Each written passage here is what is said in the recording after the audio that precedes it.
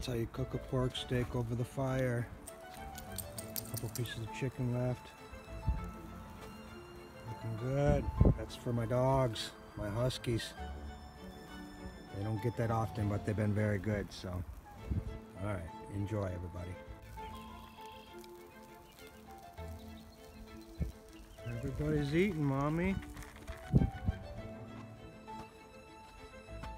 Got that pork steak with some food. Had a little bit of turkey with breakfast. Had a couple treats today. We, we miss you too, mommy. Love you.